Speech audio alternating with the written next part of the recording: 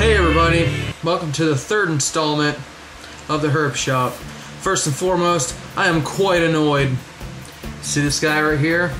It's a Chinese water dragon. Why do I have it?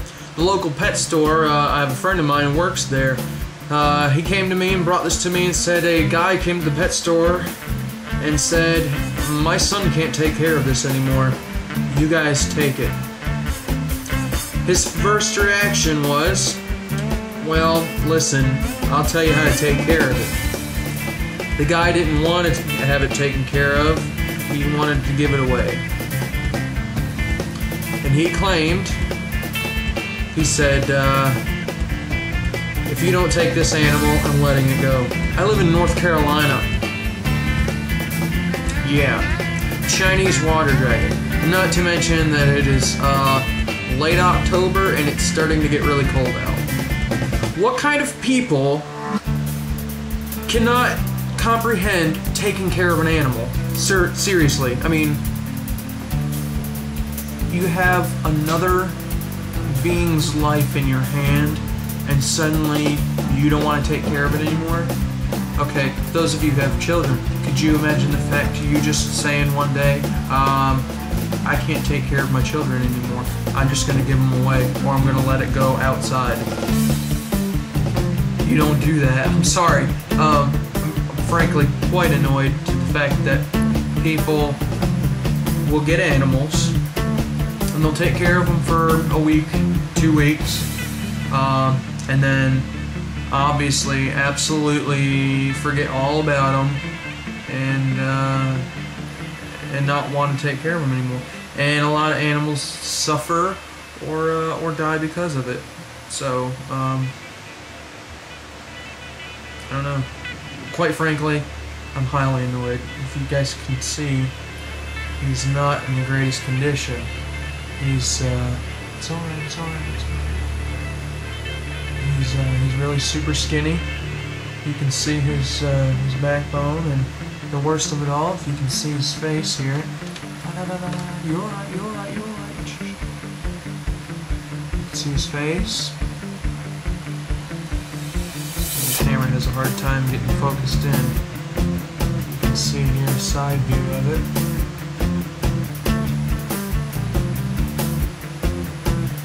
How could you let an animal get to be like that? I've got maybe a handful and a half snakes and maybe two handfuls of geckos. Um, and at this moment, every single one of my animals is perfectly healthy. Now, um, if you stay right here, um, I have another thing to show you, a ball python. So give me one moment. Okay, welcome back. I had to go next door and uh, get this ball python. Now, let me tell you the story of this little ball python.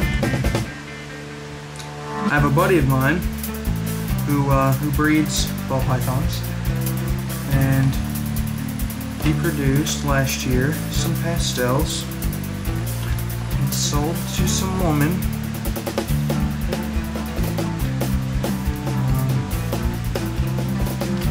sold it to a lady along with a normal. And the, the woman kept contacting Kyle and saying, uh, you need to come with this ball python because it's not eating. Okay, that was a year ago. Kyle went over, told them what to do, and they said they'd do it. Um, before I show you this, I'm gonna finish my story. Um, maybe I'm gonna say three weeks ago, uh, the lady brought the ball python up to the pet store where my buddy Adam works, and uh, said, "You need to take this and get it better, and then bring it back." Okay, first of all, you don't take it to a pet store and say, "Make it better," and then I want it back. It doesn't work. Second of all, if you have two small ball pythons, year old, you don't put them in the same tank and feed them at the same time. What's wrong with you? Third of all, if you're feeding ball pythons,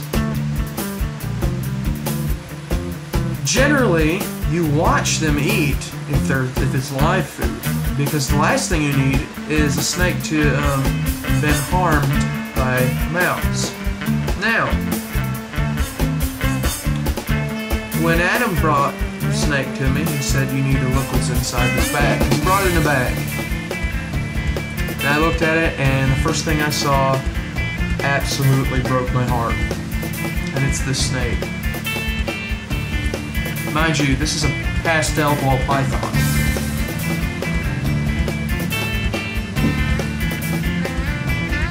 Or it was a pastel ball python. And you can see how absolutely horrible she looks. She had mites. Obviously, I uh, had her separated from other snakes. She no longer has mites, thanks to me. Um, just look at this. Absolutely horrible. She's skinny. She was skinny. She's eating now by herself. Um, and if you can see here, a mouse actually was chewing on her when the lady had her. Um, she's looking a little bit better than she has been. Um, she's starting to slowly get her color back. But uh, how could you absolutely um, do this to another being? Something that has a heartbeat and you're interested in its life. Um, I don't. It just breaks my heart to see people mistreating um, animals, even reptiles, um, regardless of how bad their reputation has been.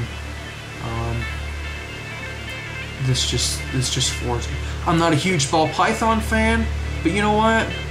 It doesn't matter. This girl right here, she was born into this world, and she has a life, and she needs she deserves to live it out. And I don't know. It just breaks my heart. I don't understand why people do that, and especially with that boy back there, that, that uh, Chinese water dragon and this pastel ball python. I don't understand. I just don't understand people half the time, but if you guys have any horrible stories like this you'd like to share, go ahead and comment below. Um, I don't know what to do. I'm absolutely floored at how uh, humans would treat other animals. So, you guys take care and hope you guys had a wonderful, wonderful uh, experience here and realize how much uh, of anger I am in with uh, humankind and realize how absolutely horrible we are um, for treating these animals like this. Um, You guys take care.